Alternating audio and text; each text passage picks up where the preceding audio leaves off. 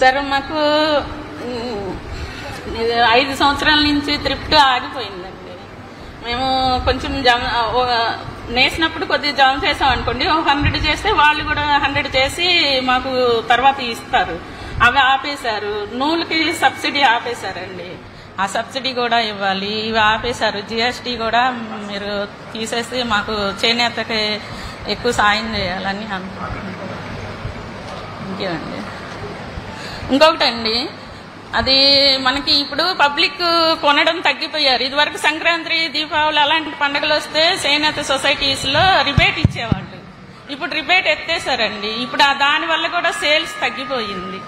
మా ఎక్కువ సేల్ ఉందనుకోండి మనం ఎక్కువ నేసి ఎక్కువ మనకి ప్ర- సొసైటీకి ఎక్కువ యూజ్ అవుతుంది కదా. అదొకటి తీ- మీరు హెల్ప్ చేయాలండి. రిబేట్ ఒకటి ఇవ్వాలి. ఎక్కువ సేల్ అయ్యేలాగా చూ చూడాలి. ప్లస్